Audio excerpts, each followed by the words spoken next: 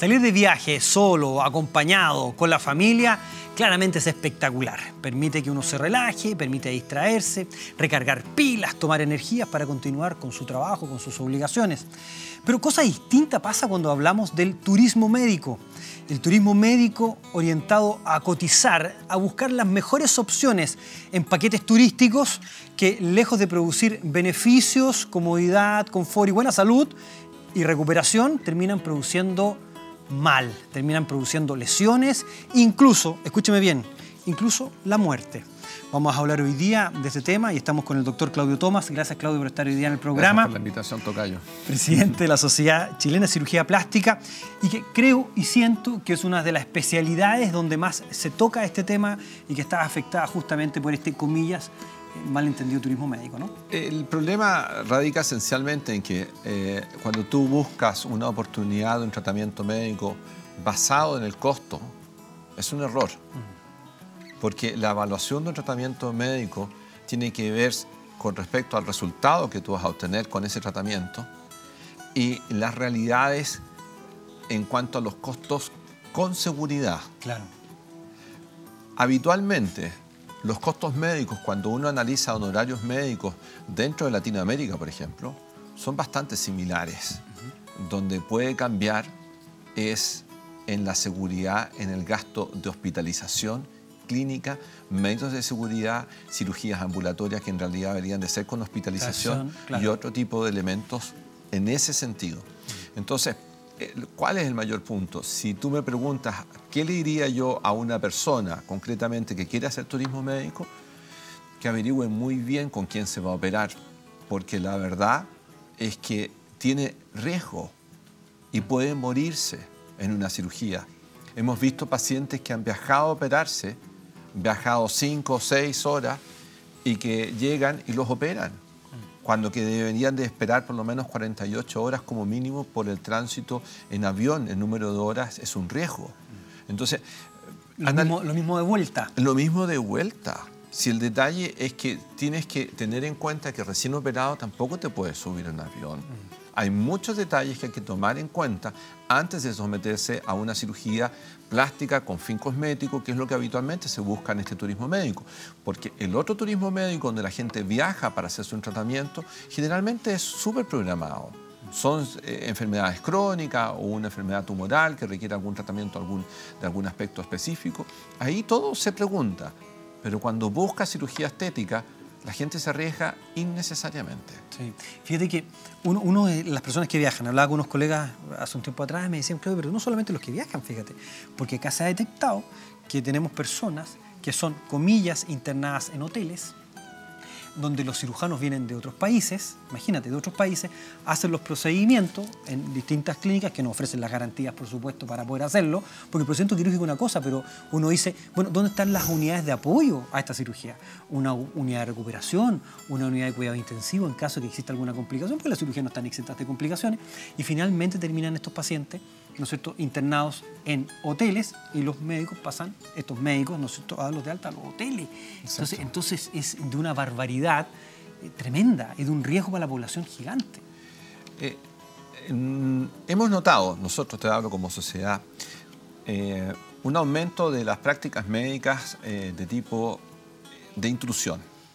Se habla de intrusión médica cuando hay un médico que no tiene las competencias o que no tiene las certificaciones en el país donde viene a trabajar, que se dedica a realizar procedimientos de un área específica de la medicina y en este caso estamos hablando específicamente de cirugía plástica.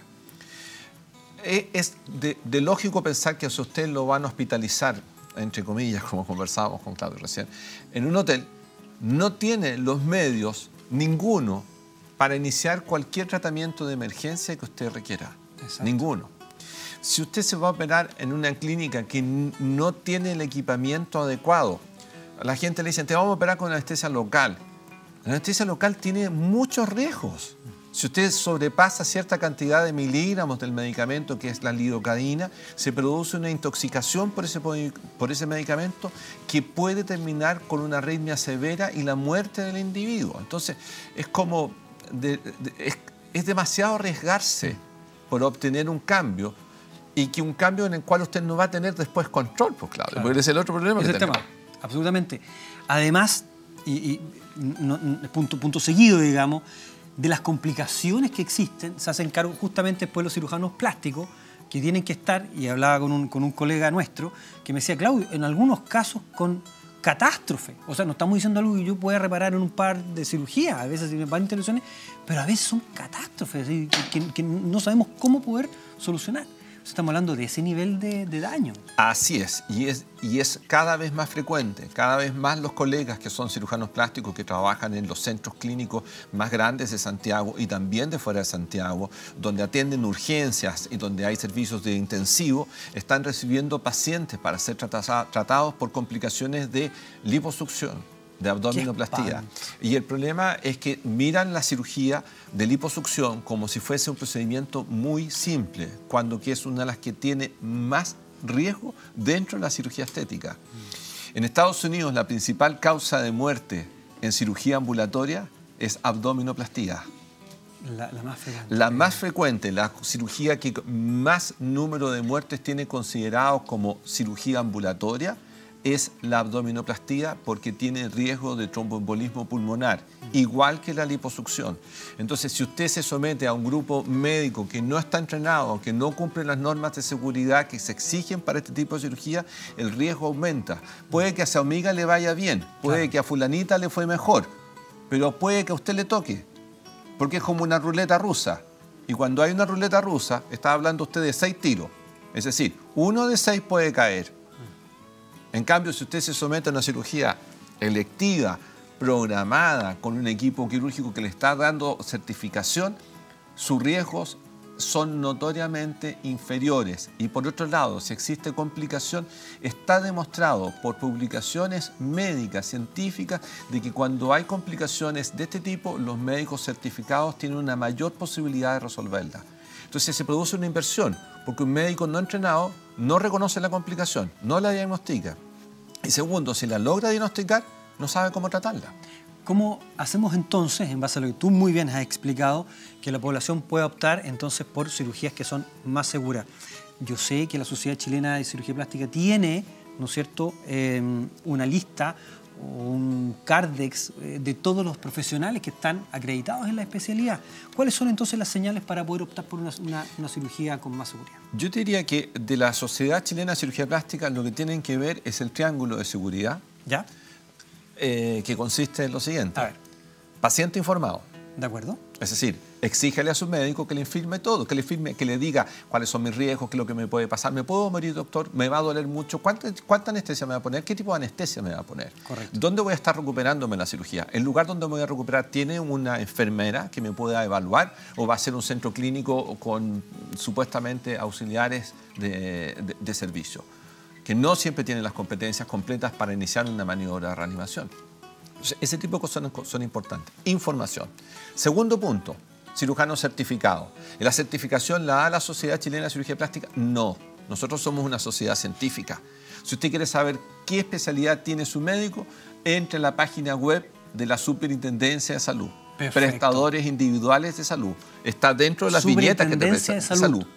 Ya. La Super Salud del Gobierno de Chile, usted entra en la página web, va a haber una parte donde dice prestadores individuales. En prestadores individuales usted pincha ahí y le va a abrir una imagen que le va a decir trámites en línea. Pincha nuevamente y va a aparecer, ponga el nombre del doctor y le va a entregar en qué universidad estudió y si que tiene demostrado en Chile que es especialista, como dice ser.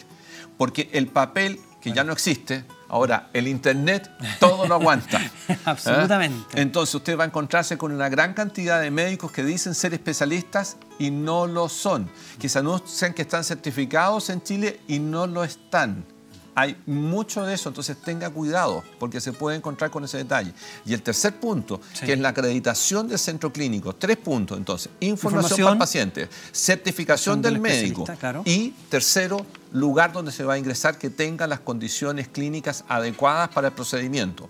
¿Es necesario siempre una UCI? No, no lo es necesario, pero sí una condición adecuada de recuperación de enfermería, guiado por enfermeras que tenga personal suficiente, que el centro clínico tenga los elementos adecuados.